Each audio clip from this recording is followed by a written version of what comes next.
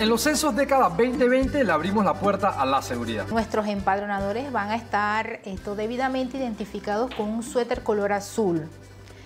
Eh, en la parte de atrás del suéter tienen el cargo, que es empadronador. También utilizarán una gorra eh, que tiene color blanco con azul y tiene como una figura de colores que lo identifica tanto en, la gorra como en el suéter. También estarán identificados con sus credenciales, eso es muy importante porque eso es lo que le da el estatus de, credibilidad al empadronador. Eh, de esta forma es que tenemos identificados nuestros empadronadores, van a estar utilizando jeans, zapatillas, porque pues ellos están en el campo, es su ropa de trabajo. Es para el empadronamiento durante todo el periodo de los dos meses que se realizará el censo.